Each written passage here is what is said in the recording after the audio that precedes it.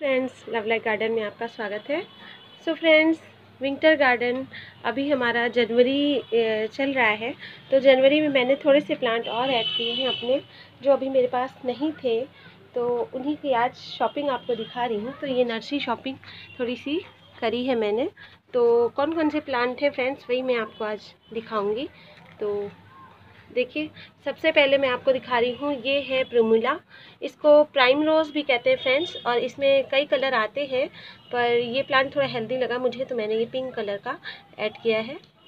इसके बाद फ्रेंड्स ये है एस्टर एस्टर को भी आप जानते होंगे, अच्छे से। ये भी गुलदाउदी की तरह इसका फ्लावर होता है और ये भी विंटर फ्लावर प्लांट है फ्रेंड्स काफ़ी सुंदर कलर आते हैं इसमें।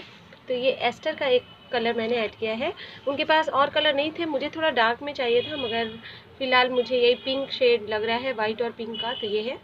यहाँ पर ये कैलेंडुला है फ्रेंड्स, कैलेंडुला को भी मैंने, वैसे तो सीड से मैंने बहुत सारे प्लांट तैयार किए, मैं आपको दिखाती रहती हूँ। देखिए, मैं आपको दिखाती हूँ। ये देखिए, कैलेंडुला को मैंने सीड से काफ़ी लगाया हुआ है, बहुत सारे प्लांट हैं मेरे पास, मगर ये कलर मेरे पास नहीं है, क्योंकि वो मेरे खुद के सीड हैं। मैंने खुद ही उनको लगाए हैं। तो मुझे पता था, मैंने कलेक्ट किए थे जब। तो इसलिए ये कलर थोड़ा नया था कैलेंडुला मैंने पहला प्लांट ही नर्सरी से परचेज़ किया फ्रेंड्स क्योंकि कैलेंडुला मैंने सीड से लगाया है तो मैंने नहीं लिया था अभी तक। तो जनवरी में अब फ्ला धूप होगी जब तो ये अच्छे से इनके फ्लावर मई तक इनको आप मई से जून तक भी इनसे फ्लावरिंग आप ले सकते हो, अगर बारिश लेट होती है, और बचा लेते हो तो फिर तो और आगे तक ये करते हैं। तो कैलेंडुला का ये नया कलर था फ्रेंड्स तो इसको ऐड किया मैंने। तो ये कैलेंडुला। यहाँ पर ये मिमुलस है फ्रेंड्स। ये मिमुलस इसको मंकी फ्लावर भी कहते हैं। इसका फेस थोड़ा सा ऐसा लगता है फेस बना है तो ये मंकी फ्लावर भी कहा जाता है इसको। सो so, इसको मैंने ऐड किया। इसके फ्लावर मैंने दिखाने के लिए रोका था। काफ़ी स्प्रिंट हो रहे हैं तो मैं हटा दूँगी ये फ्लावर। और ये है मेमुलस इसमें भी बहुत सारे कलर आते हैं। फ्रेंड्स रेड मुझे खास पसंद है इसका, पर रेड नहीं था तो मैंने ये शेड में लिया हुआ है। बहुत हैवी फ्लावरिंग करता है फ्रेंड्स ये पूरा पिटूनिया की तरह, जिस आप प्लांटर में इसको लगाओगे, वो पूरा ये भर जाता है इससे।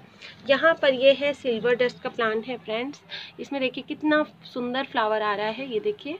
और इसमें भी कलर उनके पास नहीं थे, अगर और मिले तो मैं ज़रूर ऐड करूँगी फ्रेंड्स इसके पत्ते ही काफ़ी सुंदर हैं, आप देख सकते हो। और पॉली बैग तो वहाँ काफ़ी रखे थे तो इस तरह फटी गया। कई में वो नहीं थे फ्लावर्स नहीं थे तो कलर नहीं पता चल रहा था, इसलिए मैं फ्लावर वाला लाई हूँ। और बाकी बड भी हैं इसमें। तो अच्छा प्लांट है ये। और ये काफ़ी सस्ते हैं फ्रेंड्स विंटर के जो प्लांट हैं, ये सब बहुत कम रेट में है। पंद्रह रुपये बीस रुपये इस तरह के हैं। बाकी आपके, जैसी आपकी नर्सरी हो ट्वेंटी रुपीज़ में तो आराम से हर जगह मिल जाएँगे। और बाकी डिपेंड करता है कि आपके शहर में कैसी नर्सरी है या कैसे वहाँ से वो खुद लाते हैं। अगर बैंक तो नहीं देते हैं। तो मुझे तो यहाँ खैर बहुत अच्छे रिजनेबल प्राइस में ये मिल गए हैं फ्रेंड्स तो काफ़ी अच्छे प्लांट हैं। तो आप भी ज़रूर लीजिए एस्टर और कैलेंडुला और देखिए मिमुलस, ये प्राइम रोज़, ये भी काफ़ी अच्छा प्लांट है हमारा, काफ़ी लॉन्ग लास्टिंग भी है।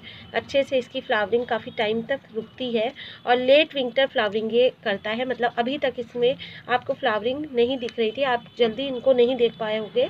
अपने जब आप नर्सरी जाते हो, विज़िट करते हो, अब ये आ रहे हैं, क्योंकि ये लेट विंटर फ्लावरिंग ही शुरू करते हैं फ्रेंड्स। और यहाँ पर मैं ये, इनके जो मुरझाए हुए फ्लावर है ना स्प्रिंग फ्लावर को हटा रही हूँ, क्योंकि बहुत ख़राब लग रहे हैं। और मैं आपको केयर दिखाने के लिए रोकी हुई थी। तो जब भी आप कोई प्लांट लीजिए नर्सरी से लाइए, वो बहुत प्लांट लगाते हैं, इसलिए इतनी केयर वो नहीं कर पाते हैं। लेकिन हमें अपने प्लांट की केयर करनी है, अगर इस तरह से ये इसमें रहेगा, सूखा फ्लावर तो ये काफ़ी ख़राब करेगा प्लांट को। और इस तरह की वीड्स भी आप हटा दीजिए यहाँ पर। ये सब मैं इसको अभी साफ़ कर लूँगी जिससे कि हमारा प्लांट हेल्दी रहे और ये सारे सूखे फूल भी मैं हटाऊँगी। और फूल को आप खींच कर मत हटाइएगा। ये पीछे जो स्टेम देख रहे हैं ना, ये स्टेम यहाँ से हटाइएगा। जब यहाँ से कट करेंगे तभी ये अपनी एनर्जी ख़त्म करता है प्लांट नहीं तो ये इसका ये जो स्टेम रह जाएगा तो ये पीछे डंडी जो है इसकी स्टेम इस पर जाएगी एनर्जी तो कोई फ़ायदा नहीं होगा आपको हटाने का। तो इस तरह से इसको मैं साफ़ कर लूँगी अभी। एस्टर तो ठीक ही है। और यहाँ पर ये मैंने एक गुड़हल हाइब्रिड गुड़हल फ्रेंड्स है ये ऑरेंज कलर का। और ये उनके पास एक ही था तो मुझे काफ़ी कम में उन्होंने दे दिया। जनवरी में फ्रेंड्स आप इंडोर प्लांट्स को और इन प्लांट्स को जो पेरेनियल हमारे प्लांट्स हैं, इनको आप काफ़ी कम रेट में आपको मिल जाएँगे अभी, क्योंकि अभी विंटर फ्लावर ही सब लगा रहे हैं, इन्हीं की भरमार है तो उनमें रेट काफ़ी कम वो दे देते हैं। क्योंकि लोग विंटर फ्लावर ज़्यादा ले रहे हैं तो आपको ये सस्ते मिल जाएँगे अगर आप अभी नर्सरी से ये लेते हो। तो ये हाइब्रिड वाला गुड़हल है फ्रेंड्स ये देखिए मेरे पास येलो कलर में था, इसकी केयर टिप्स मैंने दिखाई हुई है। और अभी मैंने इसको ऐड कर लिया है ये ऑरेंज कलर में तो कलियाँ काफ़ी हैं, काफ़ी हेल्दी प्लांट है फ्रेंड्स देखिए ब्रांचेस आप हमेशा मैं कहती हूँ वन स्टेम पे जैसे कि कलम लगाई गई है इसकी, वो तो ठीक है कटिंग से, लेकिन यहाँ पर ये डिवाइड हो गया है। और उसके बाद ऊपर से और मल्टी ब्रांचेस हैं इसमें तो ये बहुत हेल्दी प्लांट है फ्रेंड्स आप हमेशा इस तरह देख के लाइए और बहुत अच्छा रहेगा आपका प्लांट हेल्दी रहेगा अगर आप इस तरह से देख कर लाते हो। और बाकी इसमें तो सड़ी गली पत्तियाँ हैं, थोड़ी बहुत वो भी हटा दूँगी। बाकी विंटर में आपको फंगस से बचाना रहता है तो या आप ये क्या कर लीजिए। और बाकी यही मेरी छोटी सी शॉपिंग थी नर्सरी की, ये सिक्स प्लांट्स हैं फ्रेंड्स और इनकी रिपोर्टिंग देखिए अब मैं कब करती हूँ, क्योंकि प्लांट्स भी इतने हो जाते हैं कि प्लांटर्स और मिट्टी का अरेंजमेंट करना मुश्किल हो जाता है।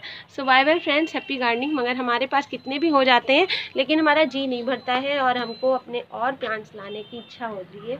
और कहीं से भी निकलिए, अगर कुछ नया दिखता है तो उसको ऐड करने का मन करने लगता है। जैसे मेरे पास अभी एस्टर नहीं था, मैंने सीडलिंग की है, बहुत छोटे हैं प्लांट पता नहीं उनकी फ्लावरिंग इतनी लेट कैसे हो गई। अभी तो मौसम ही काफ़ी बढ़ गया है।